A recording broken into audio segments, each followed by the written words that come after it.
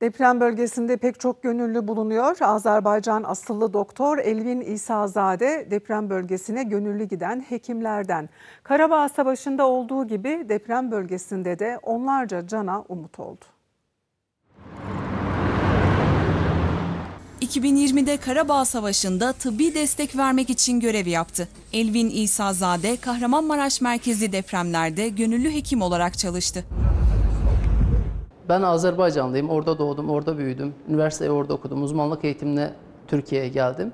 Ama Türkiye benim ikinci evim değil. Azerbaycan gibi bir evim. Hiçbir ayrım yapmadan e, sevince seviniyoruz, kederlenince kederleniyoruz ve e, burada olduğum sürece e, Azerbaycan Türkiye ayrımı yapmaksızın e, yardım edebileceğim her konuya koşa koşa severek gittim.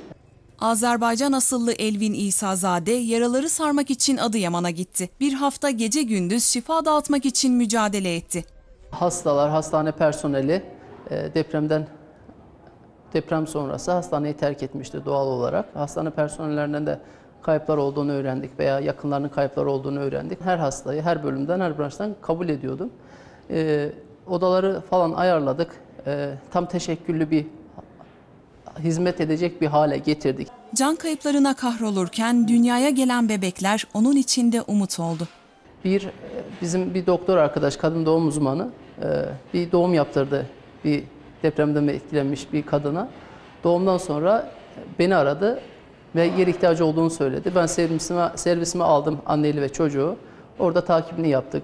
Çocuğun e, ebeveynleri ismimi hani çocuğumuza versek olur diye sorduğunda tabii ki olur dedim. O kadar e, stres, gerginliğin arasında bu bize çok büyük bir moral oldu.